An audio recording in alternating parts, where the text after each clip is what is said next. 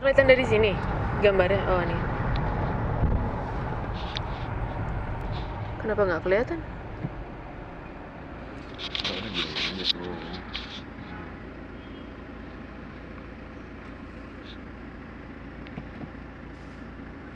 Lihat di center ke belakang tuh.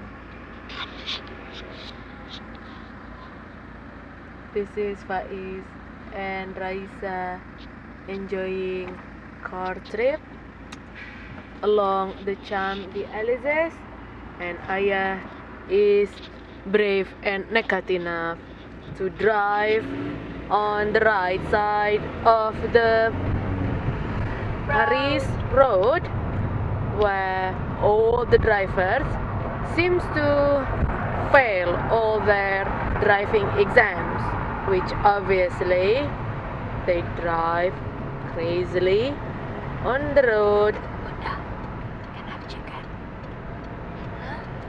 and there is the magnificent Arc de Triomphe. And Ayah is going to test his driving skills whether he is good enough to go around this um, will it be anti-clockwise then? Um, yeah it will be anti-clockwise isn't it?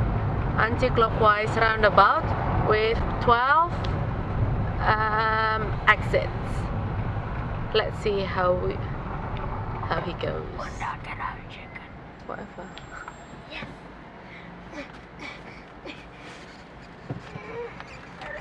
Oh, you know what? I missed the um, Louis Vuitton um, shops. Um, we are coming back to borong beberapa tas. You like one?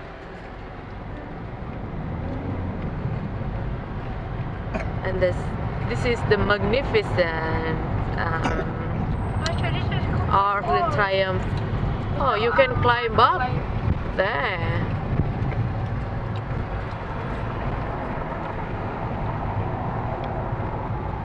Look at that. Wow, this is the big, big roundabout. It's anti-clockwise, funnily enough. And look at that.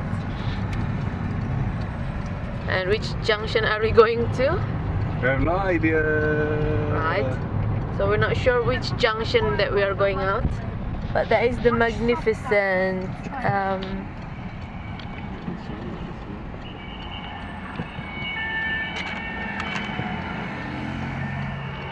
So that is very funny. There is no traffic light or anything, but then we stop in the middle of the roundabout, which is very unusual. And that's the tip of the Eiffel Tower there. Apple.